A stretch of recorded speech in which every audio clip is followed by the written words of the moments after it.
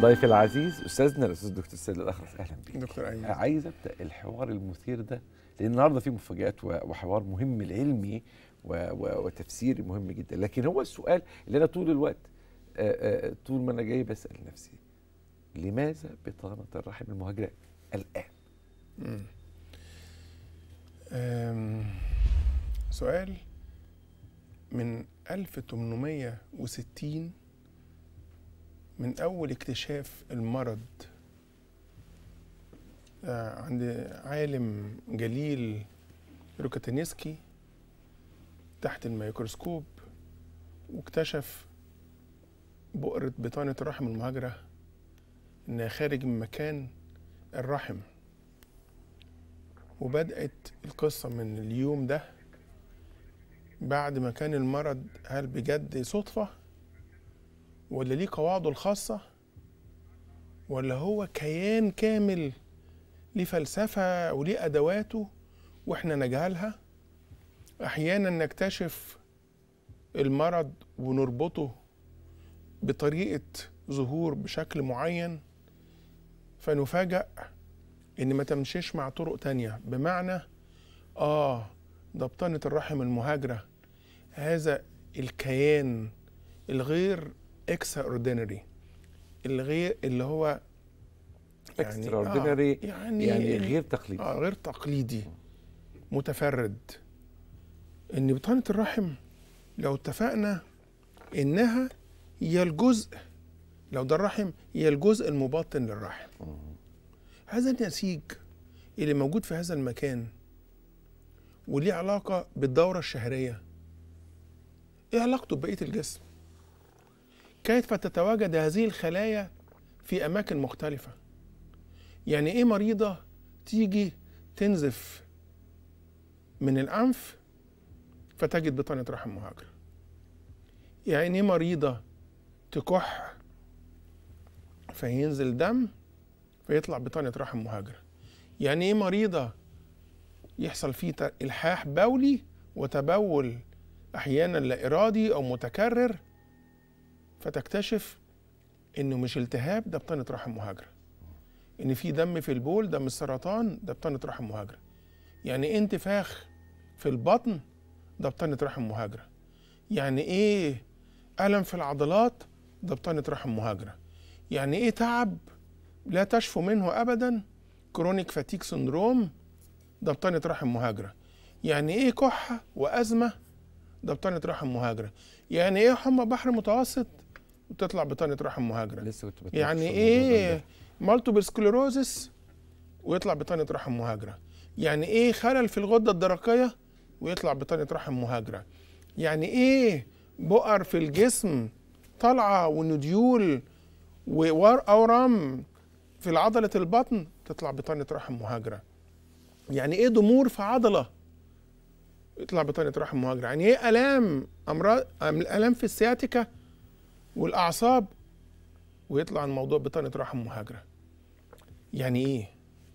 يعني إيه هذا الوحش داخل المرأة؟ وبيظهر إمتى؟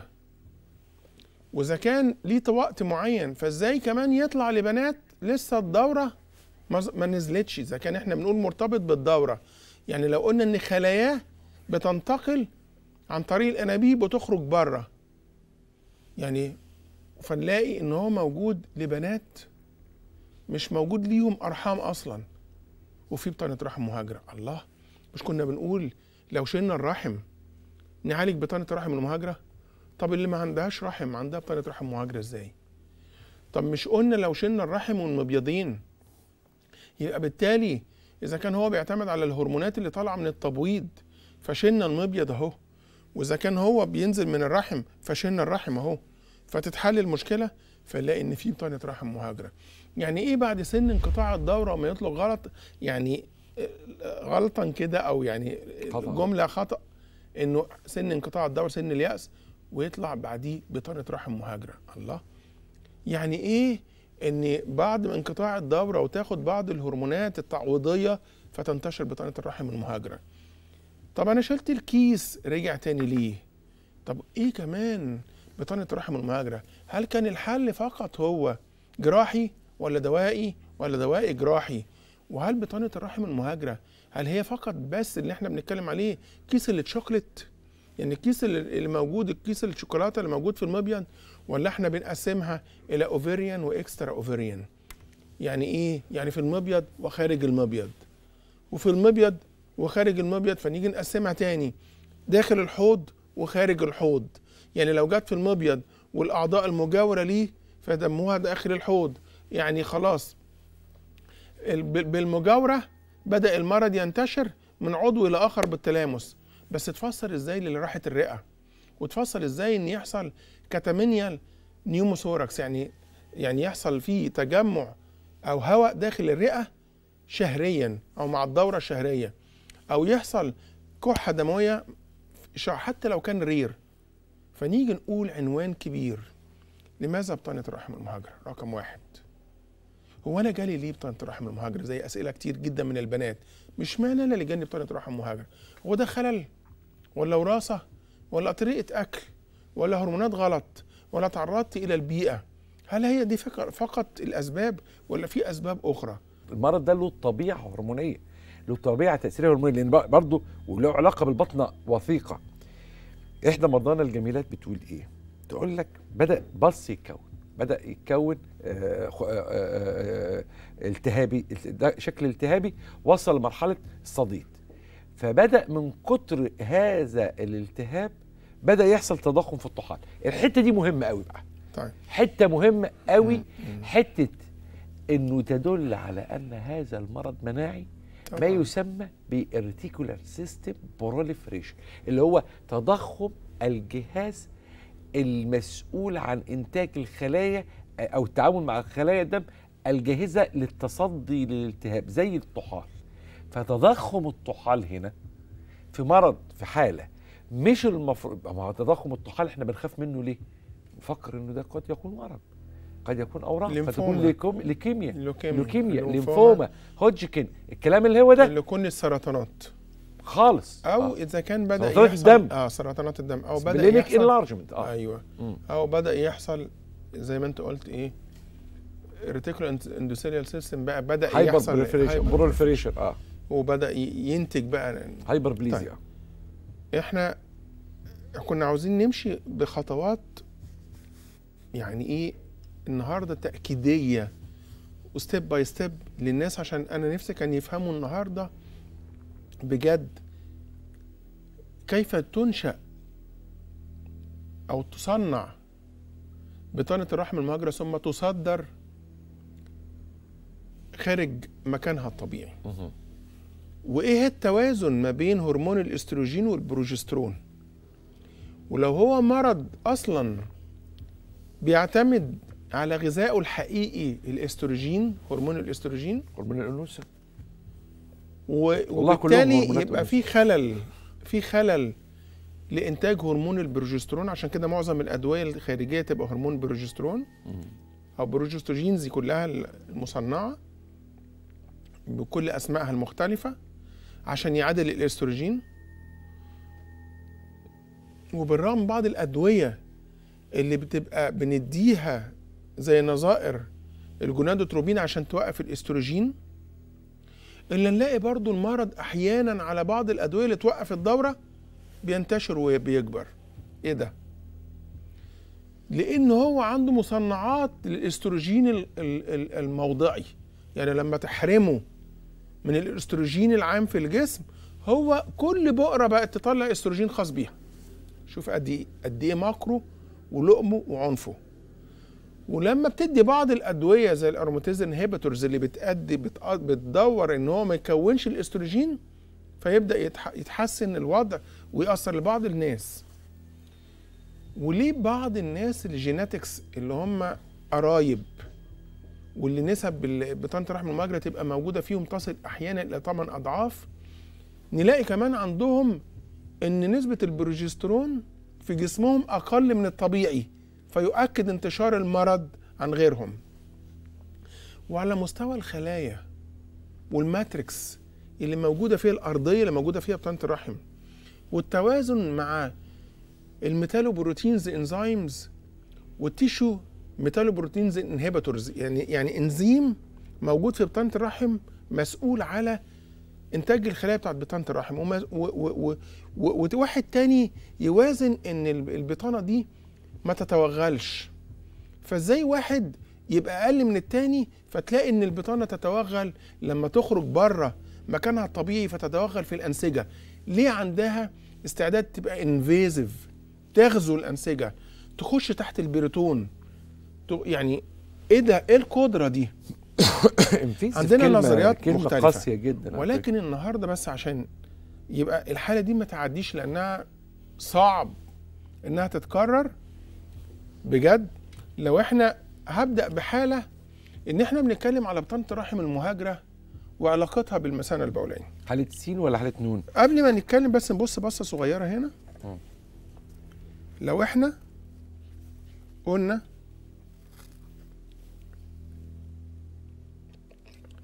رجعنا للاستوديو هنا وقلنا ده الجهاز البولي كليتين كده آه آه أيوه بالظبط كليتين حالبين مثانه بولية رحم. بص موقع الرحم الرحم كليتين. هل ممكن بطانة الرحم المهاجرة؟ لو كده واضح الأمر قول لي. آه بس عايز أشيل الكب ده بعيده هنا نشيل ده كده؟ أيوه كده تمام. واضحة الصورة كده؟ آه حلو قوي كليتين الكلية تنزل البول من الحالب هيروح المثانة البولية. والمثانة البولية على بره على مجرى البول خارجيا. إزاي؟ بطانة الرحم المهاجرة. إحنا اتفقنا لو ده المبي الرحم خرجت من الرحم وراحت الجسم كله. لكن إزاي تصاب المثانة البولية ببطانة الرحم المهاجرة؟ إزاي يصاب الحالبين ببطانة الرحم المهاجرة؟ إزاي يصاب الكلى ببطانة الرحم المهاجرة؟ المثانة البولية ممكن تصاب بالمثانة البولية ببطانة الرحم المهاجرة؟ يا إما primary lesion يا إما جالها فيها مبدئيا مباشرة فيها أو اتنقل لها بالجوار. يعني يا إما أثناء الجنين في بطن الأم لو قلنا المثانة البولية هنا يبقى ما بين المثانة البولية والرحم في جزء من تكوين الجنيني يفضل موجود. يا ما بين فازايكو يوتراين أو فاجينو فازايكل يا ما بين ال- الرحم والمثانة البولية يا إما ما بين المثانة البولية والمهبل. يفضل كامل الأنسجة دي. لغاية لما البنت تكبر ويدب فيها هرمون الأستروجين والدورة الشهرية تنشط الخلايا دي اللي موجودة في علاقتها بالمثانة وتبدأ على سطح المثانة وتتوغل لداخل المثانة. أدي لو كان primary lesion في المثانة البولية.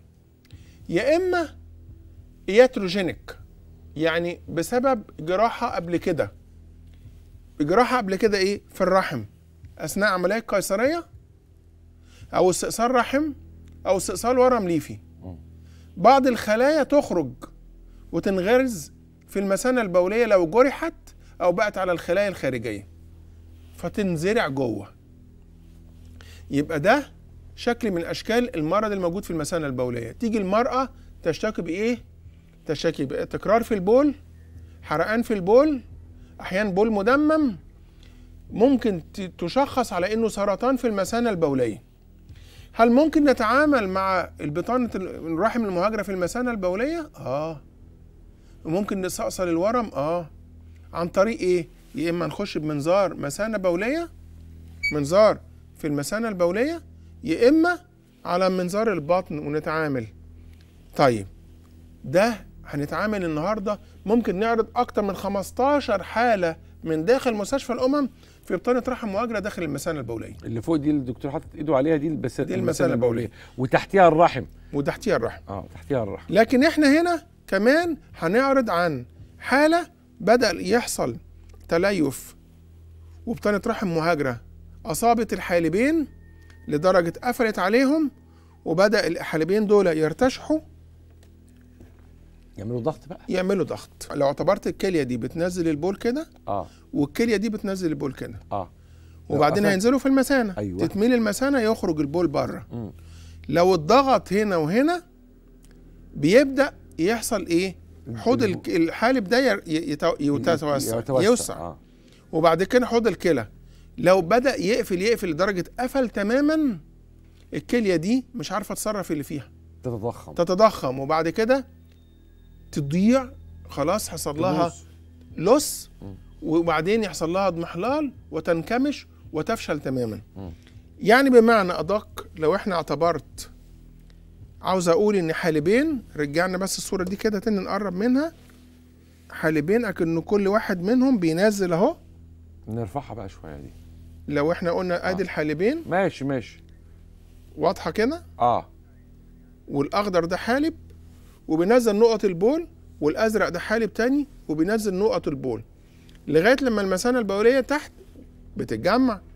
ولما المثانة البولية هتتجمع منها البول اللي نازل من الكلى باستمرار كده هنفضي الكلى هنفضي المثانه آه.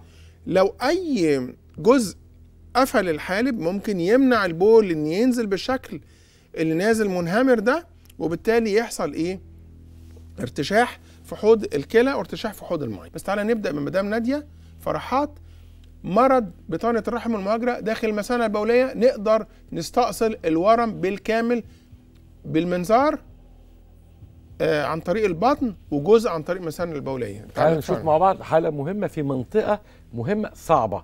صعبة, صعبة وهي جدا. وإنها لو قلنا إنها فيري رير إنها نادرة لا ده تصل دلوقتي المثانة البولية في مرض المسالك البولية أكتر من 80% من الحالات بتبقى موجودة في المثانة أكتر من 40% من بطانة الرحم المهاجرة المتوغلة موجود معاها مثانة بولية من شكل إذا كان سطحي أو بدأت موجودة في العمق. تعال نشوف. تعالى نشوف مع بعض.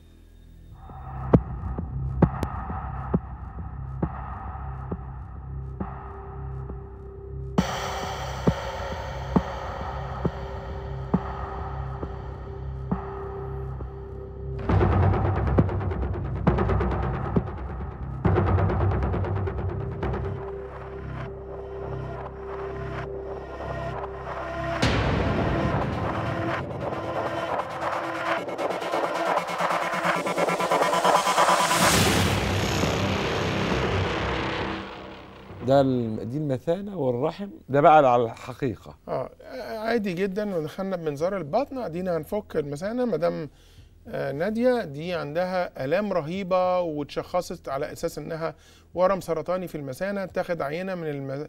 من من منظار من المثانة في معهد القومي للامراض للسرطان وجات للمريضة وكان فيها بطانة رحم مهاجرة لما اتاخدت عينة بمنظار المثانة. جات المريضة آدي منظار البطن وإحنا بنفك التصاق ما بين المثانة البولية وما بين الرحم. فكينا الالتصاق نسرع شوية الحركة لو سمحت. أنا هنا هنعمل آه، ما بين منظار البطن وما بين منظار المثانة البولية. فكينا الالتصاق بالتدريج بنفك الالتصاق. ما بين المرض بطانة الرحم المهاجرة في المثانة البولية اللي عامل بؤرة حجمها حوالي لا يقل عن آه، هنشوفها في الآخر حوالي 10 سم يعني 10 كبيرة كانت كبيرة. عشان نديول. كبيرة. بص المثانة البولية بص النديول دي كبيرة. 10 سم دي مساحة كبيرة جدا. آه، لما لما بتيجي تعمل بطانه رحم المهاجرة على المثانة البولية لازم تكون عامل منظار مثانة ولازم تكون بص إحنا مضلمنا هنا عشان نقدر نكتشف المرض وإحنا عاملين منظار المثانة هو المضيء تحت. ادي منظار البطن ومنظار المثانة في نفس التوقيت. دكتور كريم عمر شغال بمنظار المثانة. بيعمل هنا إيه هنا؟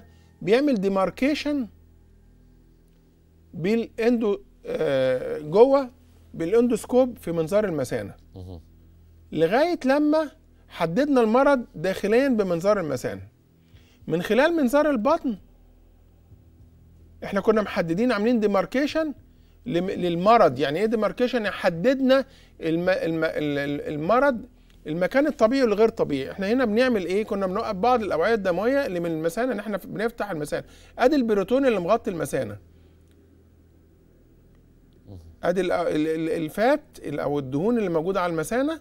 بدأت هنا أفتح المثانة البولية. واستأصل الجزء المرض اللي موجود من المثانة. بنعمل كأننا بنعمل partial cystectomy جزء من استئصال المثانة البولية بالمرض. نقلل السرعة نقلل السرعة عشان تبان الصورة لو سمحت. المرض أهو شوف البقره اللي هي موجودة على الناحية اليمين اللي ماسكها دي. شوف المرض كبير قد إيه. بنقدر إحنا محددين ما بين الجزء المصاب من المثانة البولية إحنا دلوقتي بنتكلم على مرض اهو بطانه الرحم المهاجرة في المثانة البولية. بعيد عن بطانة الرحم المهاجرة اللي في المبيض بعيد عن بطانة الب- بطانة الرحم المهاجرة اللي موجودة في الحوض اللي موجودة على المستقيم اللي موجودة على الروابط العجزية. لا بنعرض النهارده ادي إحنا كده داخل المثانة البولية.